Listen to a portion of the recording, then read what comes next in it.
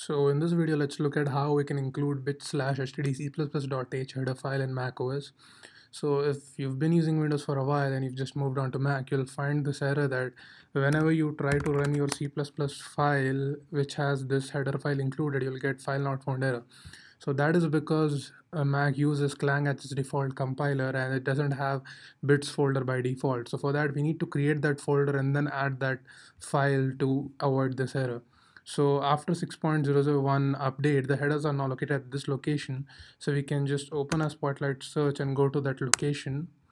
And we need to create a folder here and name it as bits. And then you can just copy a, a .h file and paste it in here and rename it to stdc++.h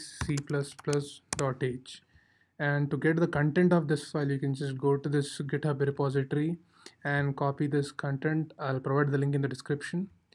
You can just open any text editor and just copy the content here and save it.